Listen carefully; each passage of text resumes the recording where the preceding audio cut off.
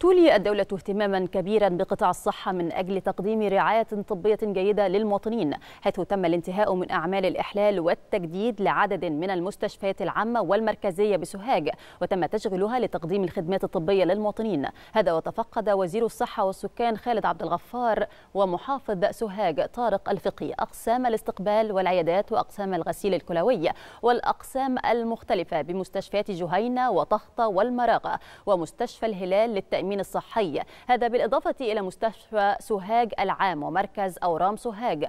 والتقى عددا من الأهالي والمرضى المترددين على المستشفى واطمأن منهم على مستوى الخدمات المقدمة لهم. وأكد عبد الغفار على اهتمام الدولة ووزارة الصحة بتطوير المنظومة الصحية بمحافظة سوهاج من خلال تطوير المستشفيات المركزية والعامة وإنشاء وحدات صحة الأسرة والمراكز الطبية وإمدادها بأحدث الأجهزة الطبية.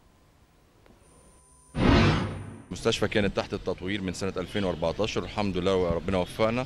استلمناها في 2023 طبعا بنشكر فخامة الرئيس لرعايته للصحة ولكل المرضى اللي موجودين في جمهورية مصر العربية وكان خاصنا بالمستشفى هنا. المستشفى بتأدي خدمات هنا من عيادات خارجية من معمل من أشعة من بنك دم من استقبال. في برضو العمليات الجراحية أربع غرف عمليات على أعلى مستوى. وفي غرفة عمليات النساء وكشك النساء. عندنا طبعا قسم العلاج الطبيعي مزود بأحدث الأجهزة اللي موجودة في الماركت كله. المستشفى هنا بسم الله ما شاء الله يعني تحت قيادة فخامة الرئيس عبد الفتاح السيسي ومحافظ سوهاج والسيد الوزير وزير الصحة الأستاذ الدكتور خالد عبد الغفار.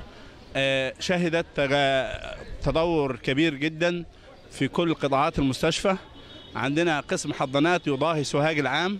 المستشفى ما شاء الله عليها حر صرح يعني كبير. في البداية طبعا المستشفى مكان طبعا كنا لو في أي مثلا في كشف أي حاجة كنا بنروح بره نروح تحت لكن هنا الحمد لله في خدمات كويسة في المستشفى. فخامه الرئيس عبد الفتاح السيسي حرصه الدائم على الاهتمام بصحة المواطن. وطبعا شفنا 100 مليون صحة وشفنا الاهتمام الرئيس بصحة المواطن.